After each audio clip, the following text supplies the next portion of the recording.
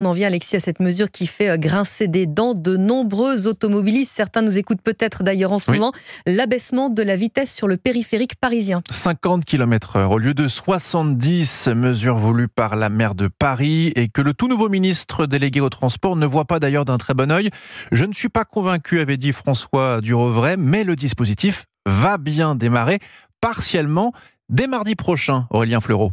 Ce sera progressif, mais ce sera fait. Petit à petit, 160 panneaux de signalisation seront installés sur les 35 km de route. Une décision prise malgré de nombreuses oppositions, comme celle du nouveau ministre des Transports, François Durovray, qui après une réunion de la dernière chance, hier avec Anne Hidalgo, a dit regretter une mesure qui va affecter des millions de franciliens, à l'image de Carlos qui travaille dans le bâtiment. Je pars de chez moi tous les jours à 6h du matin pour éviter les embouteillage justement. Et bon, je comprends pas pourquoi elle a cette idée dans la tête de venir à 50. Ça sera toujours bouché à l'intérieur, ça va boucher en plus le périph' et puis ça servira à rien. Incompréhension générale des professionnels qui circulent régulièrement sur le périphérique. Stéphane Antiglio est le président de la Confédération des grossistes de France. Nous, nous avons des salariés, ils prennent leur camion et ils démarrent à partir de 5h30 ou 6h du matin.